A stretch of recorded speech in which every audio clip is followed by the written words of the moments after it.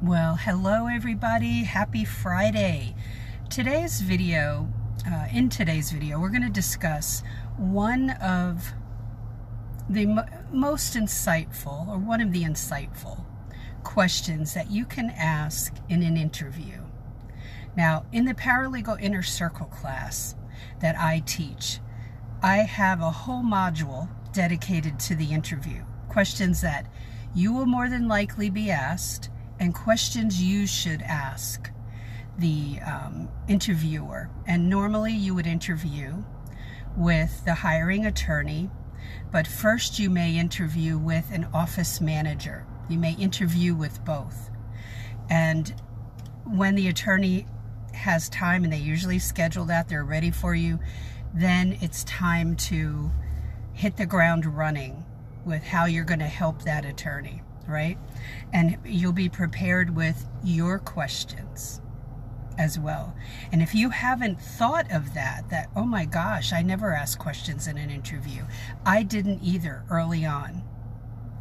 But I learned that I was coming in second a lot and I wasn't knocking it out of the park.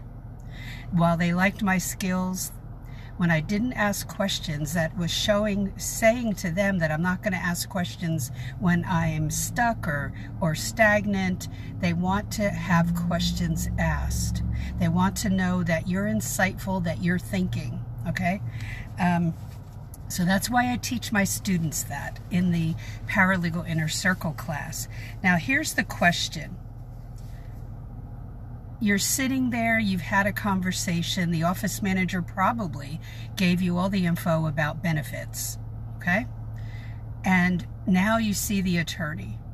And this is where you have to shine. Not that you didn't have to shine in front of an office manager, but you have to really shine in front of the attorney. So the more prepared you are, then you don't feel like you're winging it. But you need to get some feedback so you know that they can think as well. Don't make that assumption. And that they um, they need to provide you with answers so that you know that you want to work there. You don't necessarily want to work at every law firm that's placing an ad for a lot of reasons. So your your ability to ask questions will give you a better picture. Don't let anybody pressure you into accepting the job until you've had 24 hours to think about it. Okay, that's too much desperation if you accept it right then. I've been in that position. I've been in a desperate position. But I took 24 hours because what I said is I was going to talk to my uh, partner but, you know, I call, that's my husband, but I said spouse. You could say, I need to talk to my partner. It could be your girlfriend, you know, that you need to run things by just to talk it out. Give yourself the gift of time to think about everything you saw, you took in, you absorbed, okay? So here's the question. Now you're asking the attorney this.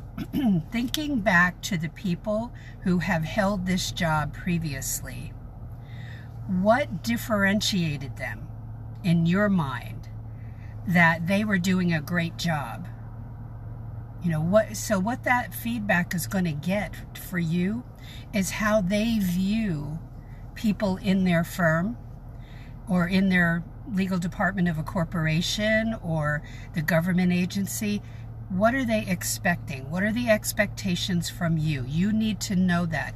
If they're saying, if the answer is, um, well, I require my paralegals to run a lot of my personal errands.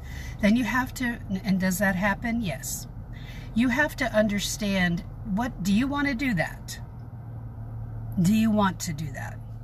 Do you want to in, have that attorney's personal life infringe on your professional life? Um, it's not that I've never run a personal errand when it, but when it comes down to that I'm running dry cleaning and stuff which I've not done, um, that I'm drawing the line in the sand in my mind, okay, during the interview.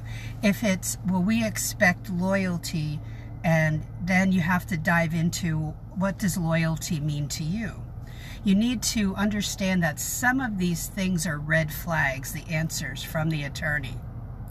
And loyalty does not have to mean that you're available 24 7.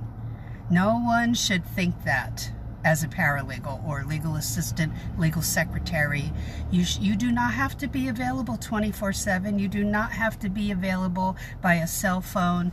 Um, that's ridiculous. So these are things that I view, and most senior paralegals will view as a red flag. That we don't want to be involved in situations where we're expected to answer the phone on Saturdays and Sundays when you do need two days in a row off, if at all possible.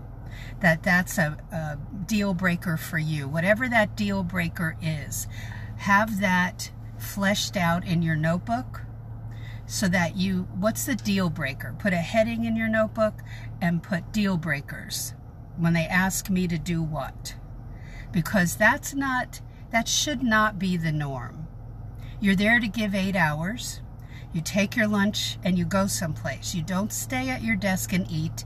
You go away. Sometimes they actually do not allow you to eat at your desk. But you go off to, I don't care if it's a coffee shop and eat your lunch. You go off, you're going to meet somebody. Even if you're not, you're, you're gone. That lunch, you have to train your people that you are not available for that 45 minutes or an hour. So when you're asking these questions. Oh boy, it gives you this important feedback. That's why you should ask questions. And I give my students a whole list of these to have ready. You might only have time to ask four questions or five at the most because they're seeing, they're interviewing one person after another. So don't ask more than four or five. That's my recommendation. And you write you won't have time to write down the answers in there. That would be kind of rude. Um, you know just kind of remember what their answers were and write them down in your car or wherever you are after the interview. Write them down when it's fresh in your mind so that you can refer back and go do i really want to work there? Will will the answers that they gave be okay? Okay? So any questions while I'm on live, please post them. Don't be shy or say hello. Love to hear from you. Sometimes Facebook will not show me your um, your comments, but I love hearing from you. And if you want to comment later or you're worried about something and you want to email me, email me at paralegalcoffeetalk. Uh, not dot com, paralegalcoffeetalk at yahoo.com. And um, don't forget, to check out the Paralegal Inner Circle class. You can scroll down. Um, I think the uh, link has appeared already in the feed on Facebook, and it's always on YouTube in Paralegal Career Mastermind. That's the name of the channel in the description box of each video, okay? So that is it for today. I, I will be doing more of these, and um, this is important that you ask questions okay? And it's not just so that you um, get this feedback but they're getting a message when you ask questions okay? They're getting a message that you're not afraid to talk and seek out an answer when you're confused about something or you need that feedback for yourself right? They know then that when you are stuck you have a question you're not going to hold it here because you're insecure, you're full of doubt, and you're afraid you'll lose face, that they'll think you're, you know, not bright and all that. You cannot think that way in your legal workplace. You have to ask questions for clarification to get it clear when you don't know. Okay, and when you start out, I don't care if you have a PhD in paralegal studies, you don't know a lot. You don't know as much as you think you do. So you have a lot to learn starting on day one. And it come and that comes with asking questions. And you write the answers down in a notebook so you're not asking the same one over and over again. That's highly annoying. All right, so have a great day and I will see you in the next video. Bye.